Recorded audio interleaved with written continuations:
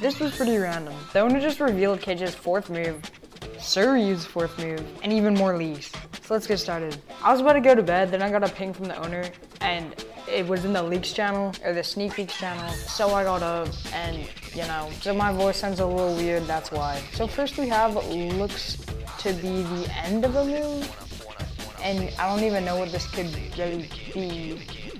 Maybe the end of an unlimited flux words, but yeah, I have no clue. Then we have this, which is probably for the next character, which could be Child Emperor. And then Suiryu's fourth move.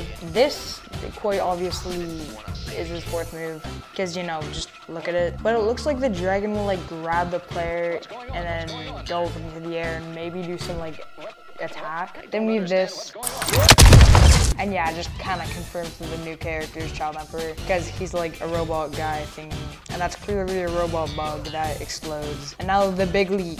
KJ's fourth move. It's legit just a four second clip, but without further ado, let's play it. I mean, yeah, looks great. Has subtitles, custom impact frames. Well, yeah, this is a short video and I need to go to bed, so oh, bye.